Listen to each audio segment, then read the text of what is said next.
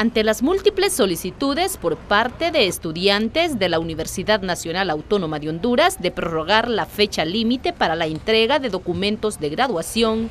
autoridades de la máxima casa de estudios tomaron la decisión de postergar la misma hasta el próximo 13 de febrero.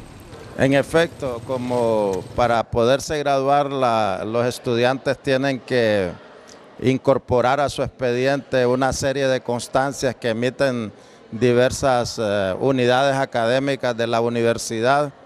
y visto que con las normas académicas hubo ajustes al sistema y eso impactó en cuanto a, la celeridad de la emisión de las mismas,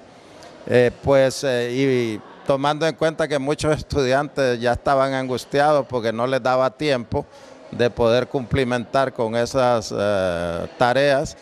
pues la universidad dispuso para que no tuvieran ningún problema ampliar la fecha hasta el 13 de febrero, que consideramos que es suficiente tiempo como para que ellos evacúen todo lo relativo a sus requisitos. Ya eso alivia un poco a estos estudiantes y ya podrán graduarse en el próximo mes de marzo. El anuncio de tal disposición fue recibido con agrado por cada uno de los estudiantes por egresar que aún no habían completado dicho proceso ya que esta prórroga evitará que tengan que retirar su título por ventanilla o peor aún, retrasar los tan esperados actos de graduación durante varios meses más. La verdad que es algo positivo porque muchos ya estamos preocupados de, ah, no vamos a alcanzar las graduaciones de marzo, o vamos a tener que optar a las graduaciones privadas o a recibir el título por ventanilla, que es algo que muchos no queríamos porque el ver que nos entregan el título y que nuestros padres también van a poder eh, estar presentes en, esos, en esas ceremonias es algo que todos deseamos.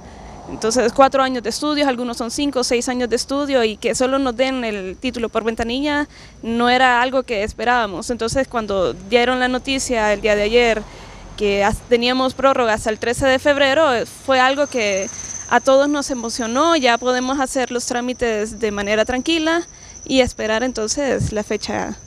que nos toque la graduación. Los registros de la Secretaría General de la Alma Mater evidencian que la fecha inicial para la cual se tenía programada la realización de este proceso era para el miércoles 27 de enero. Sin embargo, con la ampliación anunciada, los jóvenes estudiantes ahora contarán con dos semanas más para completar dicho trámite, mismo que los conducirá hacia las primeras graduaciones públicas de este año programadas para realizarse del 14 al 18 de marzo. Laura Noelia Díaz, UTV.